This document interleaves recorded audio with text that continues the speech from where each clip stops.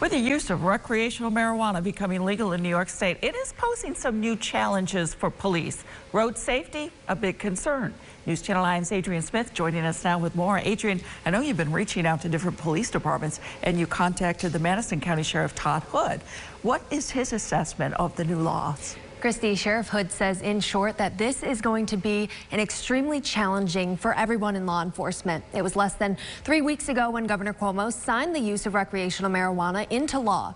But Sheriff Hood says already in Madison County, they're seeing spikes in crashes on the roads. Lawmakers say now that recreational marijuana is legal, it'll provide the state with much needed economic opportunities, such as boosting revenues and creating local jobs. But for Sheriff Hood and his department, it's all about safety, which is something he says needs to be a part of the conversation. It's one more thing to make people stumble.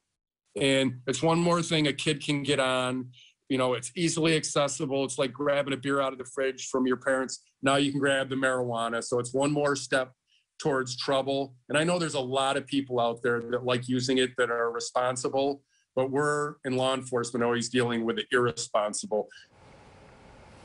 And just ahead on News Channel 9 at 6, we hear more about Madison County's strategy with handling cases involving marijuana and what some of the other central New York departments have to say about the new law.